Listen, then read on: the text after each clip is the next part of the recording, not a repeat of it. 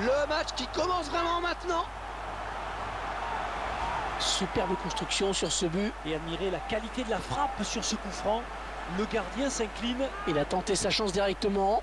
Et après, il a fait tout simplement le, geste parfait. Et ce but, cette fois-ci euh, avec une autre caméra,